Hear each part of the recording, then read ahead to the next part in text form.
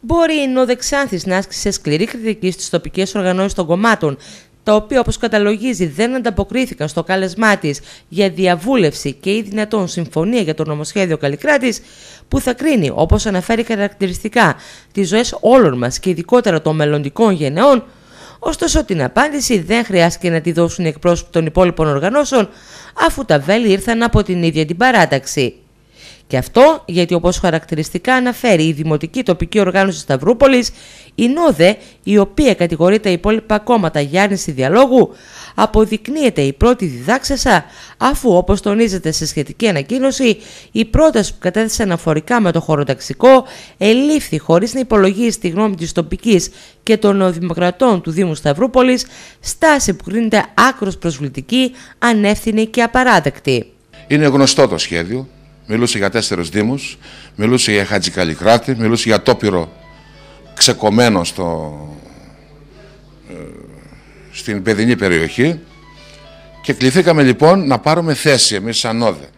Και είπαμε αυτό που πρέπει να πει ένας υπεύθυνος πολιτικός φορέας για τον νομό του. Μετά από την κατάθεση ενός προσχεδίου του Καλλικράθη γιατί είχαμε τοποθετηθεί και είχαμε υποστηρίξει στην πρώτη, στην αρχική τοποθέτησή μας εμείς κομματικά εδώ και υποστηρίζαμε την πρόταση της ΚΕΔΚΕ.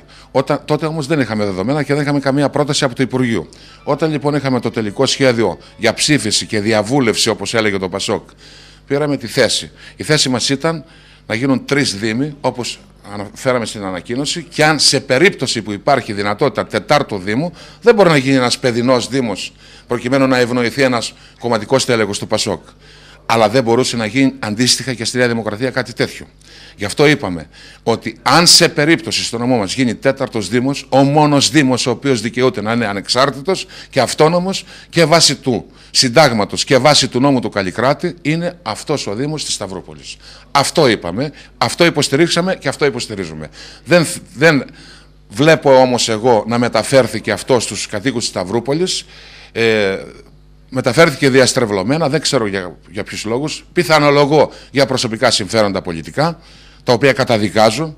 Όσον αφορά στην απόφαση της τοπικής οργάνωσης να μην συμμετάσχει σε καμία εκλογική διαδικασία του κόμματος στον νομό Ξάνθης ως ένδειξη διαμαρτυρίας για τη συμμετοχή όπως υπογραμμίζεται της ΝΟΔΕ στο στιγνό πολιτικό έγκλημα που φέρει τη βούλα του Πασόκ, ο κύριος Μωραϊτης τονίζει.